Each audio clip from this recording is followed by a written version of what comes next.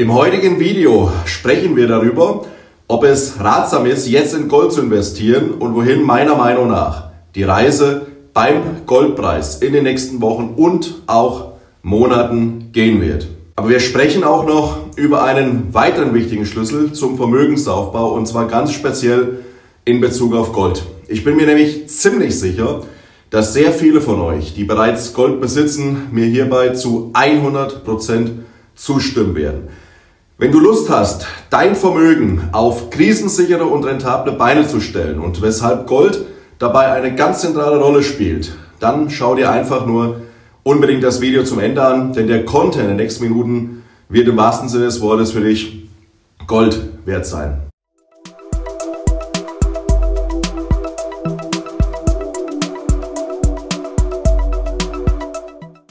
Bevor es losgeht, eine ganz große Bitte. Falls du meine Videos regelmäßig schaust, du aber noch kein Abonnent bist, dann bitte ich dich, dass du meinen Kanal abonnierst und auch die Glocke drückst, damit du auch in Zukunft kein weiteres wichtiges Video mehr verpasst. Vielen Dank schon mal vorab für deine Unterstützung. Ja, es tut sich was beim Goldpreis, nachdem es in den letzten Wochen den Anschein hatte, dass der Preis pro Unze nach unten durchsagt. Damit es hier auf dem Kanal aber seriös bleibt, sage ich gleich ganz ausdrücklich an dieser Stelle die Prognose aus dem heutigen Video stellt nur meine persönliche Meinung dar und ich informiere dich lediglich darüber, ob ich derzeit Gold kaufen oder besser verkaufen würde.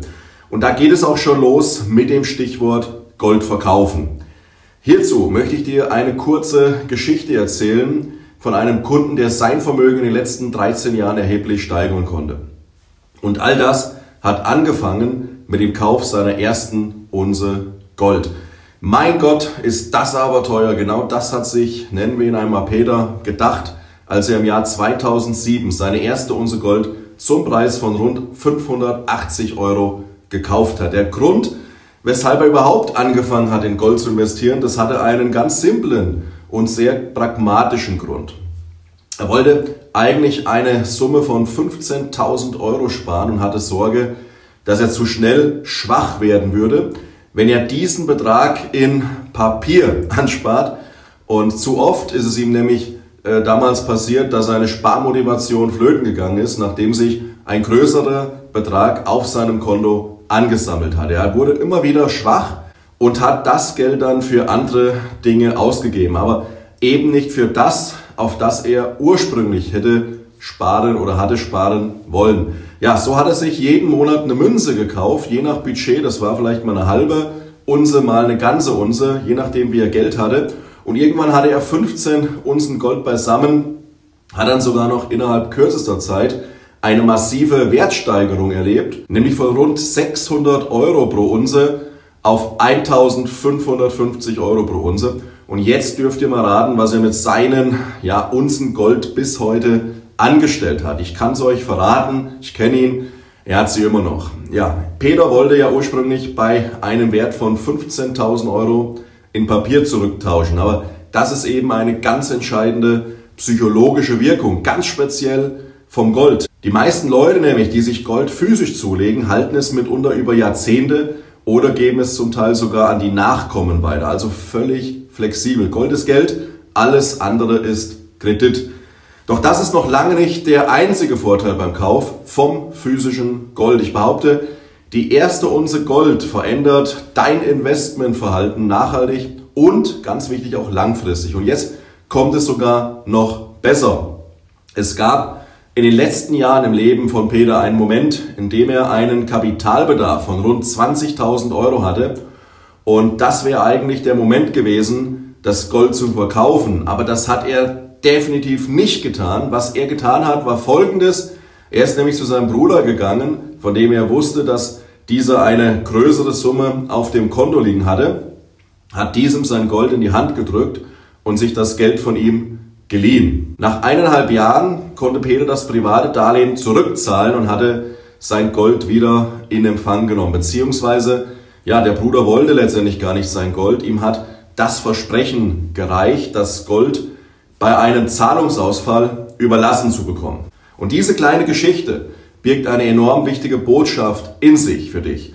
Gold, aber natürlich auch Silber haben einen ganz anderen Investmentcharakter als beispielsweise die Unternehmensbeteiligung. Hier hat mein Kunde Peter in den letzten Jahren sogar schon des Öfteren den Wertzuwachs als Gewinnmitnahme abgeschöpft. Was sich hier im Kleinen abgespielt hat, das spielt sich natürlich auch logischerweise im Großen ab und jetzt versteht der eine oder andere vielleicht noch viel besser, weshalb sich Notenbanken physisches Gold kaufen. Es geht hierbei nämlich genau um diesen Effekt. Mit einem physischen Goldbestand bietest du deinen Gläubigern das Höchstmaß, also wirklich das Höchstmaß an Sicherheit. Jetzt aber zu meiner versprochenen Prognose hinsichtlich des Goldpreises. Stand heute liegen wir ungefähr bei 1800 Dollar pro Unze und liegen damit rund 10% unter dem Allzeithoch von 2000 Dollar aus dem Juli des vergangenen Jahres. Zwischendurch hatten wir aber sogar schon Kurse von rund 1700 Dollar gesehen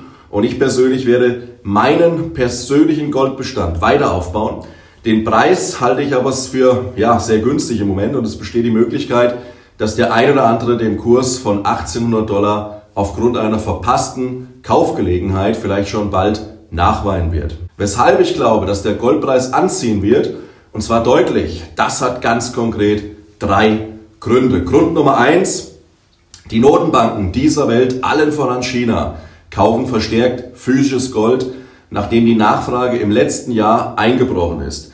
Mit über 35.000 Tonnen erreichten die weltweiten Goldreserven Anfang Februar sogar einen der höchsten Werte aller Zeiten. Grund Nummer zwei. Viele Dinge des täglichen Bedarfs sind massiv im Preis gestiegen. Wir sehen den Effekt der Preissteigerung beispielsweise ganz deutlich in der Baubranche wo sicher an vielen Projekten nachverhandelt werden muss. Ich bin immer ganz erschrocken, wenn ich mit Mandanten spreche, mit Unternehmern, ja, beispielsweise Schreinern.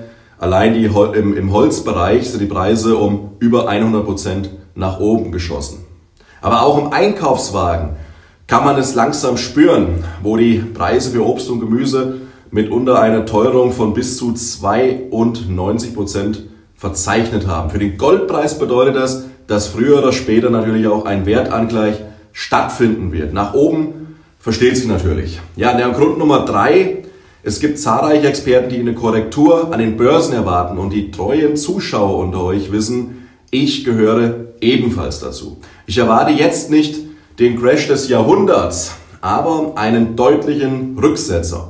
Und genau deshalb schichte ich um und erhöhe das korrelierende Asset Gold bei einem derzeit attraktiven Preis pro Unze. Und neben dem Kauf von physischem Gold bleibe ich aber auch bei den Goldminen weiter engagiert und erhöhe auch die Position, denn bei diesen Werten wirkt sich ein steigender Goldpreis noch effizienter aus als, und das ist wichtig, als beim physischen Gold. Aber, und das betone ich nochmal ausdrücklich, physisches Gold vor Ort gehört definitiv mit dazu. Es ist ein ganz, ganz wichtiger, eine wichtige Position. Wer seinen Goldbestand ebenfalls weiter ausbauen möchte, der darf natürlich gerne auch meinen Online-Shop besuchen. Darin findet ihr übrigens viele interessante Videos und wer mich kennt, der weiß auch, dass meine Lieblingsmünze die 20 Schweizer Franken Vreneli dabei ist und ihr braucht euch weniger Sorgen von einem möglichen Goldverbot zu machen. Auch wenn ich beim Gold aufgrund des günstigen Preises derzeit sehr motiviert bin, würde ich definitiv nicht alles auf eine Karte setzen, denn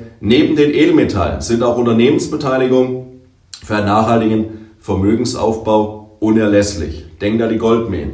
Ja, beim Peter ist es im Übrigen genauso. Er hat jetzt mit seinen Unsen Gold äh, circa 20 Prozent seines gesamten Portfolios erreicht und er ist deutlich stärker in Unternehmensbeteiligungen investiert.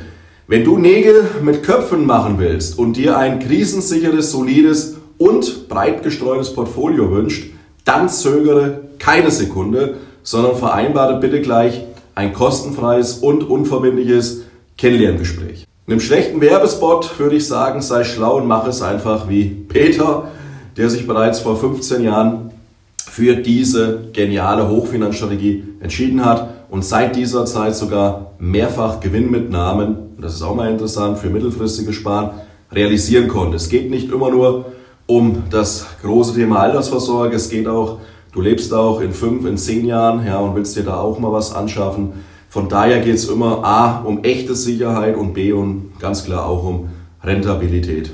Ja, was mich interessiert, hast du Gold oder wie siehst du das Goldinvestment? Welche Entwicklung siehst du aktuell beim Goldpreis? Teilst du meine Einschätzung oder bist du weniger optimistisch? Fragen über Fragen, ich bin sehr gespannt auf eure Antworten. Habt eine ganz erfolgreiche Pose-Woche.